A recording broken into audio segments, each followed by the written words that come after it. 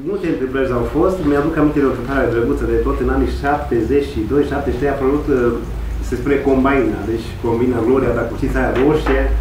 Probabil de la uh, atingerea omului pe lună, de atunci, de primul pas pe lună, nu s-a mai lumea n-a fost așa foarte mare când a venit combina asta, Gloria, roșie, frumoasă, toată lumea roată pe lângă ea, a dus într-o sâmbătă, mi-am aminte, toți tractoriștii, hai, și o să fie, pentru că semna foarte mult ca munca, să meargă uh, cineva să trăie grâu, deci să nu mai trebuiască să aducă grâu de pe gând, să-l aducă, mă rog.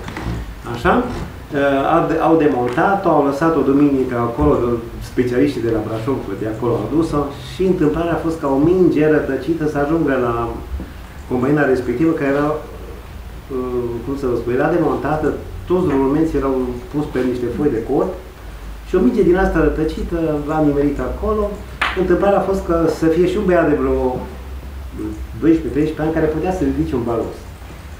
Și de aici încolo s-a întâmplat o tragedie. Uh, m-am trezit, eram vreo 7-8 copii, ne-am trezit cu 30-40 de kilograme de bile din aia rotunde. Deci vă imaginați că am cărat toată seara, a doua zi, am spart lumeții, a doua zi miliția la noi, luni, marți și așa, numai că am scăpat nears pe rug. Deci vis-a-vis de tractoriști, am dat o pagubă de neadevărat. Deci mi-aduc cu plăcere aminte de, apropo de viața de tractorist, de ce însemna tractorist.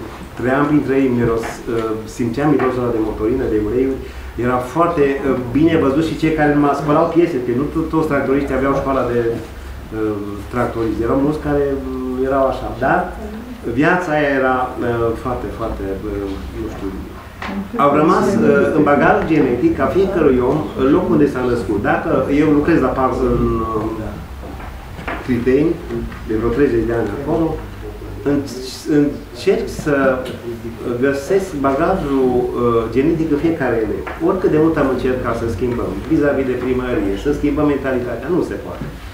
Uh, domnul Podaru, în opera lui, tot ce scrie, încerc să văd ce a mai rămas uh, din bagajul meu genetic ce apucă să prindă din lui foarte, deci mă simt foarte bine și foarte onorat că retrăiesc, bineînțeles că eu am vrut foarte mult. E un fel de oglindă, Poftim?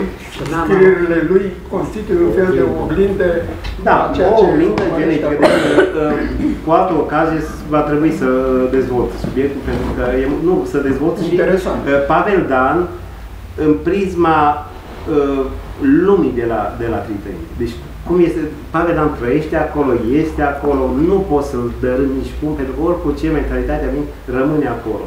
Vis-a-vis -vis de, acum nu pot nu știe, de amplasarea acelui monument sau așa. Nu, există niște mentalități care le găsim în opera de Pavedan și dacă odată subiectul trebuie dezvoltat cândva și probabil că o să avem timp mai mult să Dar asta mi-a făcut mare plăcere să mă duc la viața de tractorist de pe vremuri, cum erau văzuți, cu toată lumea unde intra tractoristul era, wow,